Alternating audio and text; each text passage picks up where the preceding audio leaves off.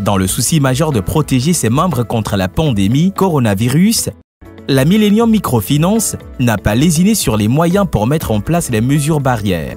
Monsieur Kofi, avec un cache au visage, arrive pour effectuer une opération financière. Il se prête aux dispositions mises en place. Lavage systématique des mains à l'eau et au savon grâce à ce mécanisme installé à l'entrée.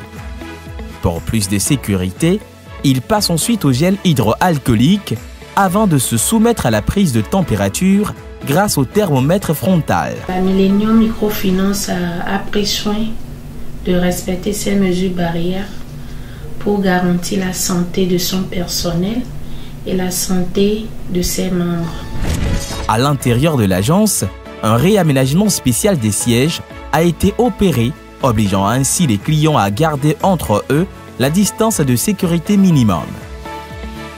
Le virus se transmet aussi par voie orale. Une mesure particulière a été prise au comptoir. Au sol, devant la caissière, on peut lire cette inscription. Merci de respecter la distance de sécurité de 1 mètre. Outre les membres, les mesures barrières s'étendent aussi au personnel qui voit ses habitudes changer au quotidien. Nous sommes obligés de changer à chaque 3 heures nos masques, nos cache-nez et de se laver régulièrement les mains aussi avec le gel alcoolique.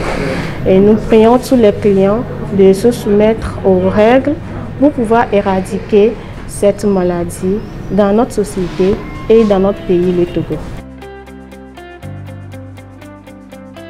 Toutes ces dispositions prises par la direction rassurent les clients qui se sentent en de bonnes mains. Déjà à mon arrivée au portail, la sécurité a pris ma température.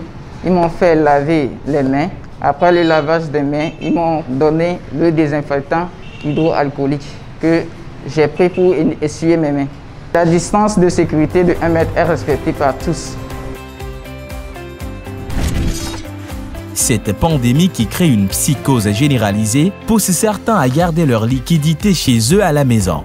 Une situation qui, loin d'être une solution, peut comporter d'énormes risques. Millennium Microfinance garantit euh, la sécurité de leurs fonds pour eux. C'est pas le moment de venir tout récupérer sur les comptes pour pouvoir faire des rachats ou bien des, des, ravitaillements. Non, il faut prendre le peu dont on a besoin parce que après cette pandémie, les activités vont reprendre. Pour ça, il faut dépenser rationnellement faut même pas prendre l'argent, le déposer chez soi à la maison parce que vous serez exposé au risque de vol ou bien d'incendie.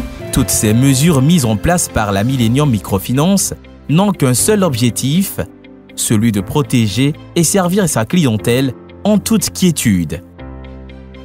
Millennium Microfinance, faisons de la prospérité un choix.